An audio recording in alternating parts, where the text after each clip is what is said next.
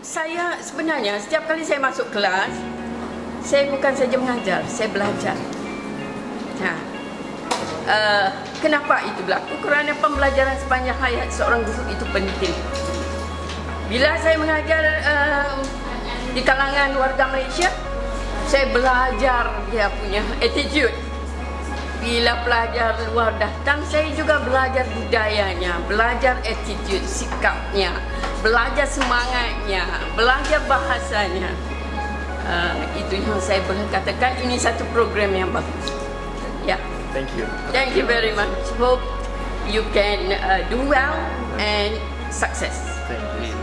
Uh, inshallah.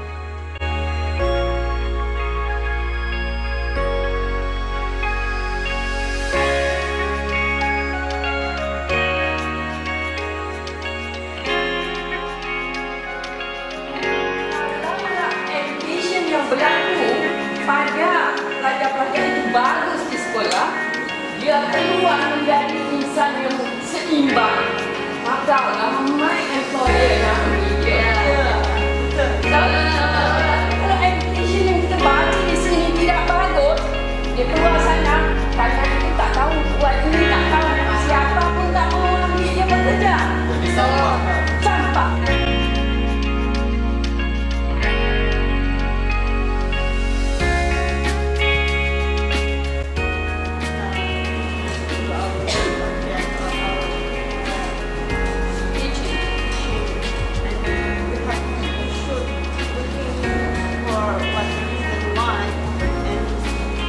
Karena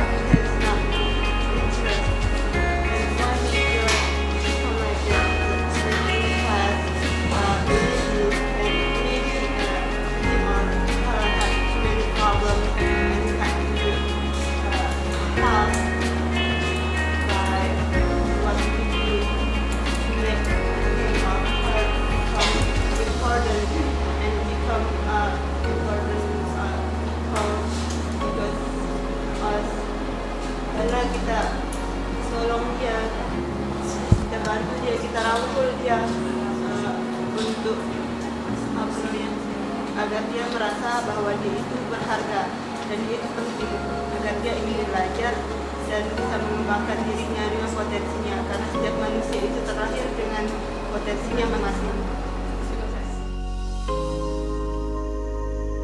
saya nampak semangat mereka pada hari ini sungguh uh, bagus, sungguh tinggi ya untuk mendalami pedagogi, knowledge men- untuk menjadi seorang guru yang berkesan uh, dengan pertanyaan-pertanyaan dengan uh, respon yang saya ber, ber, uh, yang saya expect itu memang saya dapat.